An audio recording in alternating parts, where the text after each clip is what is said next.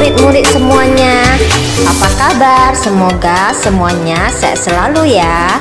Berhubung pandemi COVID-19 masih berlanjut Kalian masih harus belajar dengan sistem online di rumah Dengan bantuan aplikasi Telegram dan channel Youtube. Nah kali ini Miss Luciana akan memandu kalian dalam pelajaran penjas Nah, anak-anak Miss yang di rumah, materi kali ini adalah kita mempelajari gerak dasar lokomotor berjalan. Gerak berjalan satu arah. Gerak berjalan satu arah. Gerak berjalan merupakan gerak lokomotor.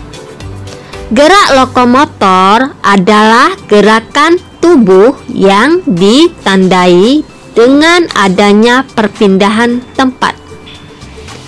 Penunjang utama gerak lokomotor adalah kaki. Contoh gerak lokomotor adalah berjalan, berlari, melompat, meloncat, dan meluncur. Manfaat gerak berjalan membuat tubuh menjadi sehat. Gerak berjalan satu arah di antaranya satu, Berjalan mengikuti garis lurus secara perorangan.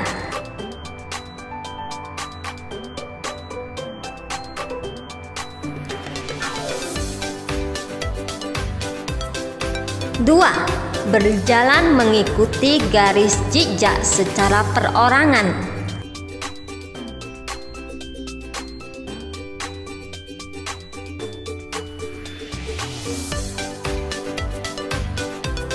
Oke anak-anak, sudah paham penjelasan yang tadi?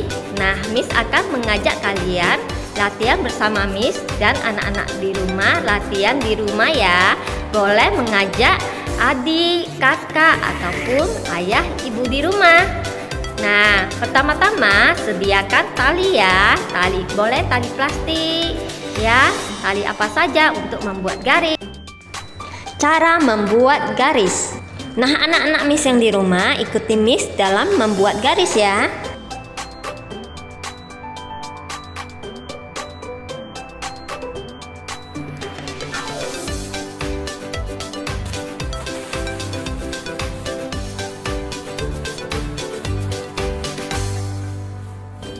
Setelah membuat garis, yuk kita memulai latihan berjalan.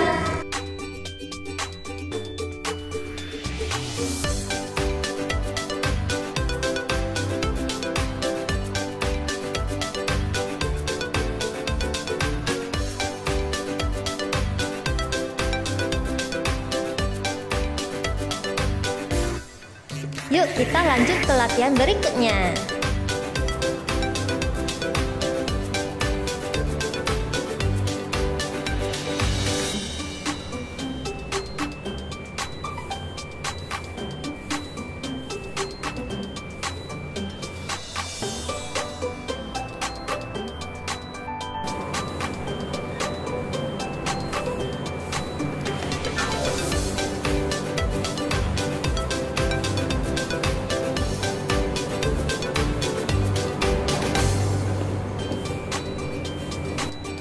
Nah, anak-anak, seru kan?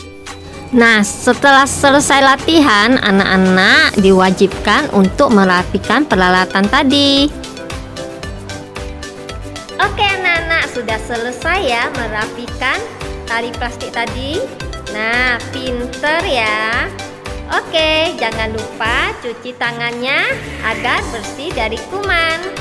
Setelah itu, boleh melakukan aktivitas yang lain. Oke, sampai di sini dulu materi pelajaran kita kali ini. Sampai jumpa di video berikutnya. Oke, bye.